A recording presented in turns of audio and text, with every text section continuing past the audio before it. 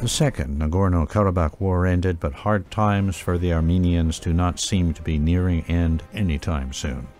On December 10th, Turkish President Recep Tayyip Erdogan gifted Azerbaijan with the great honor of hosting him as a special guest at Baku's Victory Parade.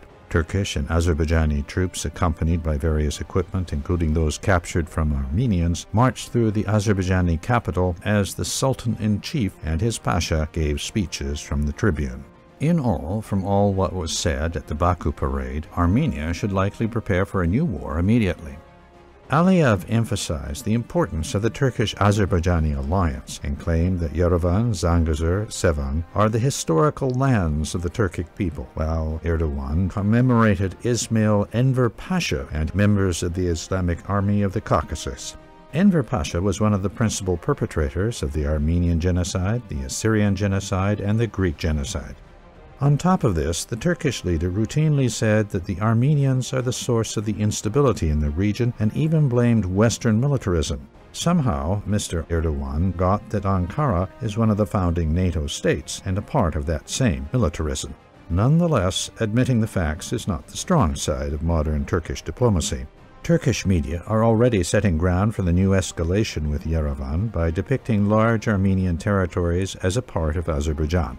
For example, Turkey's TGRT Haber showed the entire chunk between Azerbaijan mainland and its Nakhchivan Autonomous Republic in this way, adding the title, Armenia has no money, let's give Zangezur. The title referred to claims of Azerbaijan that Armenia must pay a $50 billion compensation for what Baku calls crimes against the Azerbaijani nation in Karabakh. So now, Turkish and Azerbaijani media promote the idea that Armenia should pay this compensation with some territories.